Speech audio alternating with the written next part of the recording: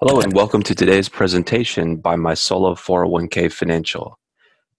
In today's webinar, we'll be going through some very important compliance do's and don'ts related to solo 401k plans. My name is George Blower. I'm the principal and general counsel of my solo 401k financial. In today's presentation, we won't be giving any legal advice, tax advice, nor investment advice. Instead, our focus will be educational. So let's get started. On this first slide, we'll give an overview of the topics that we, we, will be going over. Again, this will be important do's and don'ts related to solo 401k plans. We'll first be going through important topics related to account opening and account setup. Then we'll discuss rollovers, contributions, distributions, loans, investing in real estate, and finally, important filing, reporting, and deadline topics. So let's get started. Under account opening and setup, the first thing that you want to do is confirm that you are self employed. This is a very important threshold topic as in order to set up and qualify for a solo 401k, you need to be self employed. In the words of the IRS, if you look at their guidance in IRS publication 560, they shed some light on what that means. It essentially boils down to making money off of your personal effort. So, common examples of self employment activity would include serving as a consultant, perhaps an attorney, or providing some other type of professional services, maybe a realtor. All of these are common examples of what would be considered to be self employment activity. Examples that are not self employment would be having a W 2 job where you re- receive income on, on a W 2. In that instance, you're not self employed, rather, you're an employee. In addition to being self employed, in order to qualify to set up a solo 401k, you cannot have any full time W 2 employees. So, full time for purposes of this discussion is going to be someone who's working at least a thousand hours or more. So, if you have W 2 employees working for you that are working at least a thousand hours or more, you are not going to be eligible, eligible to set up a solo 401k. Of course, if you are working with 1099 independent contractors, that won't preclude you from establishing a solo 401k. When you set up a solo 401k, you do want to adopt an IRS approved qualified 401k plan. And you'll know this because your provider should provide you with a favorable determination letter from the IRS which confirms that the plan that's been established meets the requirements to be a 401k. Now you need to open up an account where the money that will be contributed or rolled over to the plan will be held. This account needs to be at a financial institution, such as a bank or a brokerage. These could be your local bank, it could be a national bank such as Wells Fargo. In addition to that, there are a number of brokerage firms that will open up accounts in the name of the solo 401k, such as Fidelity and Schwab, just to name a couple. Our company, for instance, works for many, many different finan- works with many, many different financial institutions. But those are some popular examples when you open up the account, you don't want to open it up in your name, but instead it needs to be opened up in the name of the solo 401k. Moreover, you don't want to open up the account using your business or personal tax ID. Instead, you'll need to open up that account in an EIN that's been obtained from the IRS specifically for that solo 401k. And a good practical reason for that is because if there is any type of income that's reported with respect to that account, say, for instance, that the account is earning interest and a 1099 INT is issued for that interest income. Well, that interest is being earned on a 401k. So that's generally going to be tax deferred. And so if that account was opened up in opened up in your name or perhaps in your business name, then the IRS would likely be looking for that interest income on your business or tax return by having it having the account in the name in the EIN of the 401k. The IRS is going to know that this is this income is being earned on a tax deferred entity such as a 401k. When you open up those sub accounts for the 401k, you're not going to want to combine pre tax and Roth money. Instead, you need to open up two sub accounts. One would be for the pre tax money, and another would be for the Roth money. Because it's very important to keep those pre tax and post tax dollars segregated. And finally, in opening up and setting up a solo 401k, you don't want to combine funds for spouses in a single sub account. It's going to make your life much easier for tracking purposes, or if some other uh, situation were to arise, such as a death or divorce, if spouses' funds are kept in separate sub accounts. So, for example, you might have one bank account in the name of the plan for the benefit of the husband, and then a second bank account in the name of the plan for the benefit of the wife. And then going further, if both individuals have both pre tax and Roth money, then each individual would have two accounts. So you could have four accounts that are set up for a single solo 401k plan. So let's move on to rollovers. When you transfer funds from a pre-existing retirement account to a solo 401k, it's going to be important to follow specific procedures. For example, if you're rolling over from an IRA, you do want to transfer the funds as a direct rollover. You don't want to transfer the funds as an indirect rollover. And the reason for that stems from some relatively recent regulatory guidance indicating that you can only do one indirect rollover regardless of the number of IRA accounts that you have per 12 month period. If you do more than one, it's going to be considered to be a distribution. So you want to roll that money over as a direct rollover. So when you're working with your provider or the existing uh, the entity the entity that holds that existing IRA, you want to make sure that you're indicating that the money is being transferred to a qualified 401k employer plan so that they know how to report it. When you're transferring from a former employer plan, similar, similarly, you want to do that as a trustee to trustee transfer. So that's similar to a direct rollover, except that's for a former employer plan. You're transferring those funds as a trustee to trustee transfer. You do want to confirm that a 1099R with the code G in box 7 is issued for the transfer because this transfer is a reportable event, but it's not a taxable event. So by issuing that 1099R with the code G in box 7, that indicates to the IRS that the transfer was not taxable. In other words, that the money went to another retirement plan. You do want to confirm that the transfer check is payable to the solo 401k. So oftentimes when you initiate that transfer, the transferring institution is going to transfer those funds via check. And so you want to make sure that you let them know to make the check payable to the solo 401k rather than making it payable to you personally. Again, you don't want to transfer funds as an indirect rollover. You don't want to deposit the transfer check in your business or personal account because that's going to look like a distribution again you're just transferring over it over to the to another retirement account in this case a solo 401k so the funds need to go directly to that solo 401k account.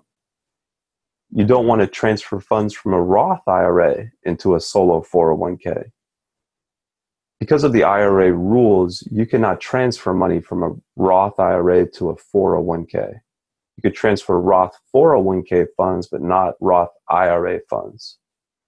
And the reason for that comes down to there are different uh, distribution rules, there's different ways that the five year period is calculated for IRA versus uh, 401k, Roth 401k accounts. So you're not going to be able to move those funds. And again, that's because of the IRA rules. You don't want to transfer pre tax funds directly to a Roth solo 401k. So if your 401k plan, your solo 401k plan, allows you to have Roth funds, such as our plan, and you're looking to put money into that Roth sub account where the money is going to be coming from an existing pre-tax retirement account, such, such as a traditional IRA, the funds need to go through a two-step process. They're first going to go from the pre-tax existing account to the new pre-tax sub-account under the solo 401k, and then they would be converted from the pre-tax sub-account under the solo 401k to the Roth account. And obviously, your provider is going to need to take care of the required reporting, and that's going to be a taxable event. But you do want to make sure that the money flow is consistent, where it goes from a pre tax to a pre tax and then to the Roth sub account. So let's go on and talk about contributions. This is another key topic. And under, under contributions, the first and basic concept anytime you're talking about contributions is you want to make those contributions based on your self employment income. A key takeaway is you're, that you're never going to be able to make contributions in excess of your self employment income. Even though the overall limit that applies to you might be 53,000 or 59,000 for 2016 based on your age, if you don't have sufficient self employment income, you're not going to be able to max out those contributions in determining your self employment income, you do want to aggregate from all sources of self employment income. So if you are in a position where you have multiple sources of self employment income, for example, you might be a realtor and you might also have some other business as well, so that you've got multiple sources of self employment income. Well, you need to aggregate those sources of self employment income in determining how much you can contribute you do want to confirm that the plan, the solo 401k plan, was adopted by December 31st of your first contribution year. So when you make contributions, you the deadline to do that is actually when the when your tax return is due. So if you're taxed as a sole proprietorship and you're reporting that self-employment income on your personal tax return on Schedule C, you know your tax return, of course, is due in April. So you actually have up until April or even later if you file a timely extension to make those contributions for the previous year, say for 2015. But you would have need to have had adopted the plan by December 31st of 2015 if you want to make those contributions in the following year. Do consider any contributions made to your W 2 employer sponsored plan. So you might be in a situation where you have a W 2 day job and you're participating in your W 2 employer sponsored plan and you're making contributions. You could be, say, maxed out, putting in $18,000 if you're under 50 to your W 2 employer sponsored plan. Well, you're still going to, if you have self employment income, you're still going to be able to make contributions to the solo 401k, but you'll have to consider those contributions made to your employer sponsored plan. So, in terms of making contributions to a solo 401k, you're able to make two types. You're able to make both employee contributions as well as employer. So, the employee limit, if you're under 50, is $18,000. And that the, the contributions you make to any other plan are going to be ag- aggregated. And the reason for that is that the employee limit applies at the employee level. So it's going to consider plans made to or contributions made to all plans that you're participating in. So if you're maxed out under your employer sponsored plan, you won't be able to make any more employee contributions, but you could still make employer contributions to your solo 401k plan. Next, you're not going to be able, or you don't want to make any contributions in excess of the contribution limits. So again, you're going to, there's multiple factors to consider. One is age, another is your self-employment income, another is how the business is being taxed, and then of course you have the overall contribution limits of 53 and 59,000. So you want to make sure that you factor all that in and don't make contributions in excess of the contribution limits. You don't want to make contributions in, in excess of your self employment income. As we, we've been discussing, a fundamental concept is you're not able to make contributions higher than your actual self employment income. And of course, you're not going to be able to make contributions based on your W 2 wages if you have a day job. You can only make contributions again based on your self employment income. You don't want to deposit Roth contributions in the pre tax sub account. So you might be in a position where you're making Roth contributions to a solo 401k. It's going to be important to deposit those contributions in the Roth sub account rather than the pre tax account. You don't want to make contributions after your tax return deadline, including extensions. So, again, as long as you set up the plan by December 31st, you're going to be able to make contributions for that year all the way up until the tax return is due for your business, including any timely filed timely filed extensions. But of course, you're not going to be able to make contributions after that deadline. Okay, so let's go on to distributions.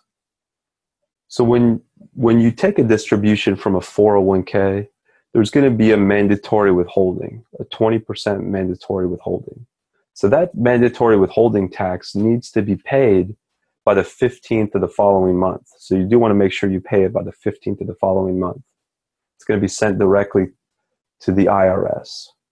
You do need to file Form 945 by January 31st of the following year to report that withholding. You want to make sure you do that. A 1099R will need to be filed by February of the following year as well. And oftentimes the 401k provider will handle that. For example, we handle that for our clients you do want to confirm that a Roth distribution is qualified. So typically that's going to mean holding that or having made that uh, Roth contribution, the initial one, at least five years prior to the distribution, and then being at least 59 and a half before you take that distribution. Otherwise, that distribution will be taxable, which of course defeats the whole purpose of setting up a Roth in the first place when you take a distribution and pay the mandatory withholding, you don't want to use your personal or business tax ID. You're going to want to use the employer identification number that was obtained for the 401k plan during the establishment process. You want to make sure you use the right tax ID number when paying that mandatory withholding tax. You don't want to distribute any employee or employer contributions if no qualifying event occurred, such as separation for, from employment or some type of hardship event. So you want to make sure you look at those rules before you distribute any employee or employee employer contributions made to the solo 401k. You don't want to fail to report the distribution on your personal income tax return. Of course, typically these the distribution is going to be ta- taxable you know if you're taking money that was pre-tax so you put it in without paying tax eventually you're going to have to pay tax on that money so when you take that distribution even if you're avoiding the penalty it's typically always going to be taxable finally you don't want to fail to pay the 10% penalty if applicable so if you take that distribution before you're 59 and a half or there's no there's no hardship you know you're going to have to pay a 10% penalty so it's going to be important to take care of that in connection with taking that distribution. Okay, great. So let's go on to do's and don'ts related to solo 401k loans. So the loans that we're, we are referring to here are participant loans. These are loans that you are taking from your own plan. You know, you're borrowing borrowing from your 401k. So if your 401k plan provides or supports loans, you can certainly do that, but you want to make sure you follow the rules because there are very specific steps to ensure that that, that loan is not going to be considered to be a taxable distribution. You do want to document the loan. That's one of the basic concepts. And oftentimes the provider will take care of that. For example, we handle all the loan documentation requirements for no additional charge for our clients. You do want to make payments on a monthly or quarterly basis. So when you're paying back that loan, you need to do it either on a monthly or quarterly basis. You're going to be paying principal and interest, so you do need to pay a reasonable interest rate. And of course, you want to deposit those loan payments in the solo 401k account. So it's going to be that bank or the brokerage account that you set up for the plan at the beginning of the process. You don't want to take a loan in excess of the limit, including multiple loan rules. So the limit that applies is going to be 50% not to exceed $50,000. So if you've got $100,000 in your plan, then you're going to be able to take a $50,000 loan. If you've got $150,000, you're still only going to be able to take a $50,000 loan. Now, in determining that, you want to make sure that you consider the multiple loan rules. Of course, if you have multiple loans out or an existing loan out, and you've already take you've already you know borrow the limit, you're not going to be able to borrow any more money from your plan. Another thing to consider is the 12 month look back rule. So let's say you took a $50,000 loan, you had $100,000 in your plan, then you paid it back with, within six months. So you paid it back early. Well, you're not going to be able to turn around and take another $50,000 loan the next month. And the reason for that is the 12 month look back rule. So essentially, that rule looks has you look back to the prior 12 months to see what the highest outstanding balance was. And if you've already maxed out in the prior 12 months, you're not going to be able to take another loan until you until more time goes by. You don't want to take a loan without first obtaining required loan documents. So as I mentioned, one of the basic requirements is that the loan needs to be documented. So you want to make sure that you're first documenting the loan before you're taking it. You don't want to fail to report a loan default as a distribution. So if you're not able to make those loan payments back to the plan, that's going to be considered to be a distribution and you need to follow the, the rules that apply to any distribution. And of course, pay any applicable taxes and penalties.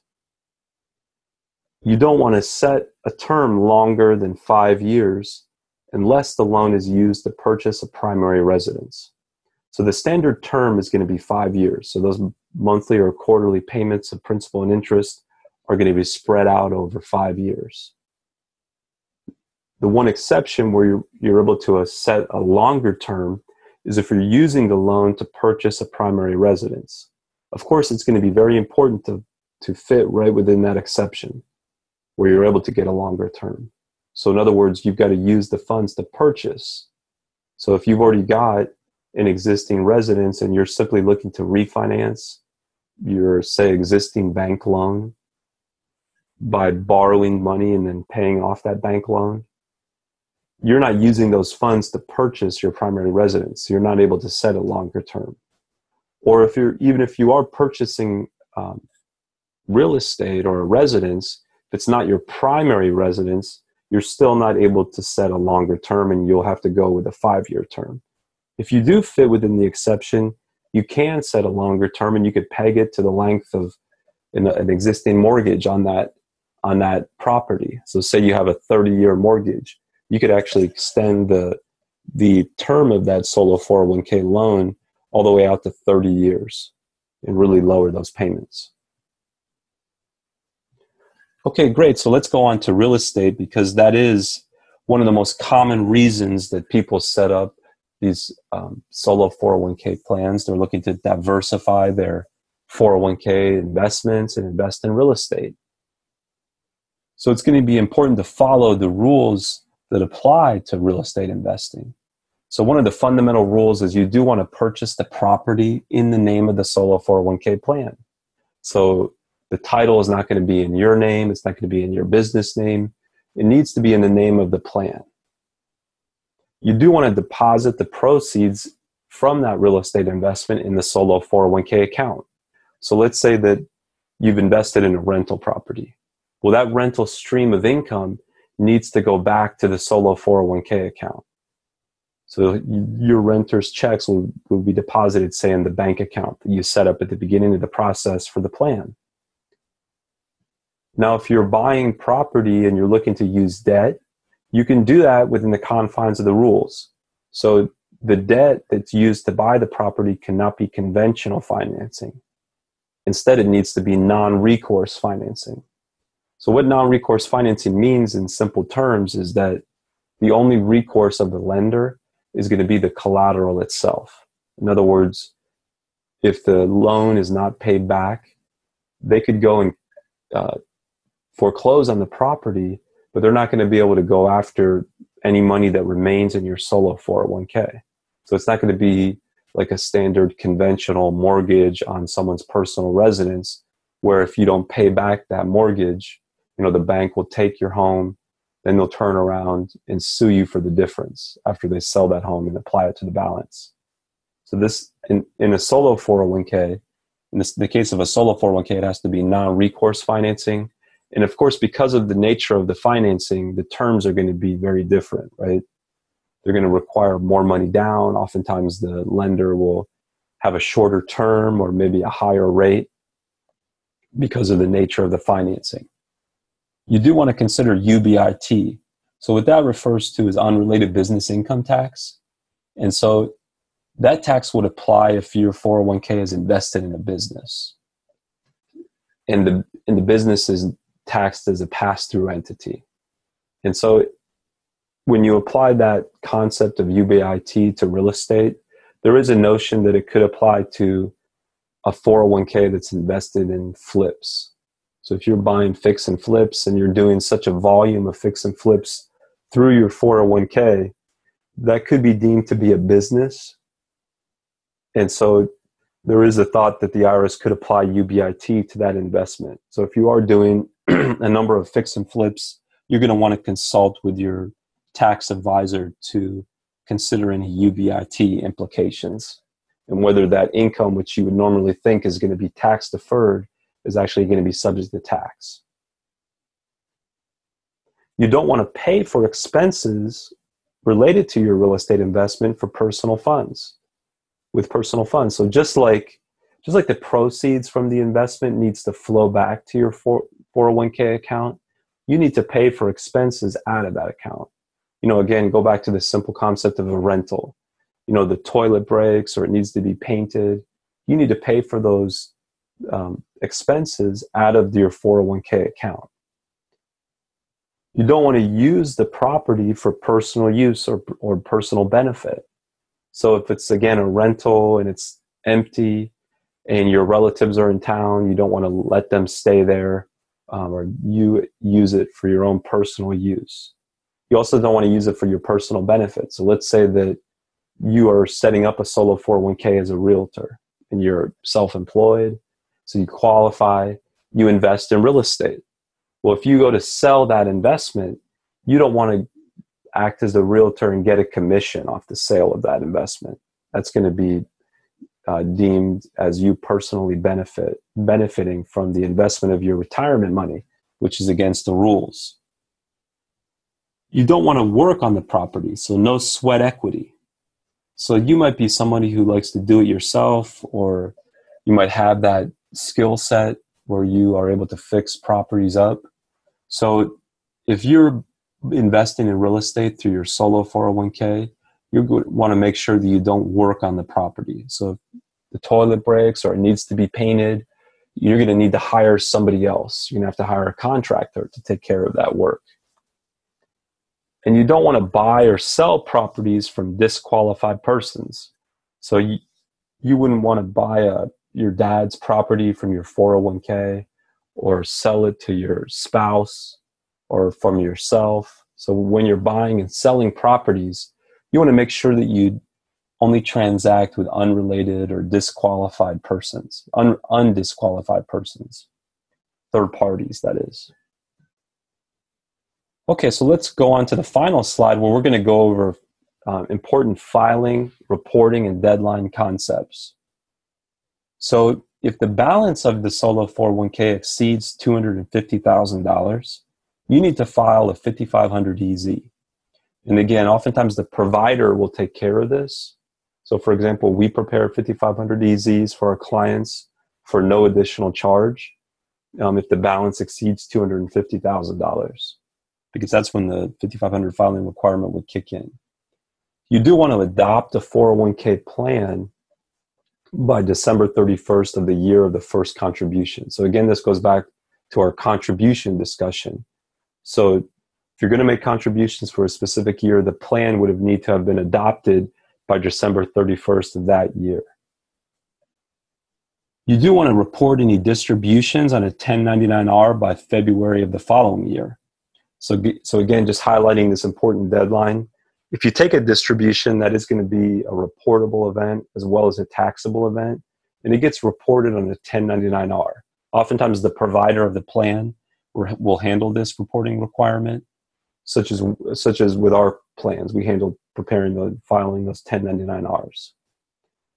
You do need to file Form 945 by January 31st of the year following any distribution. So again, that's to report the withholding that was paid um, with respect to that distribution. You don't want to fail to report any Roth conversion on a 1099R. So if you move money from a pre-tax sub account under your solo 401k to a Roth account, that's going to be a taxable event. It's also going to be a reportable event. It needs to be, re- be reported on uh, 1099 on a 1099R again by February of the following year. So don't fail to report any rollover on a 1099R with a code G in box 7.